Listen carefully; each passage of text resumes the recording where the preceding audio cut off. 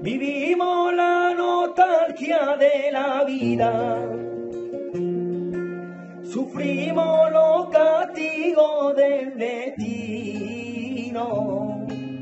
Con lo bonito y corta que es la vida. Debíamos de ser mejor amigos. No sé cómo cuando sucedió. Eran tan buenos, nobles y sencillos, pero el Señor a muerte lo mandó, dejando para siempre este camino. Yo le dije, farruquito mío, ven con papá.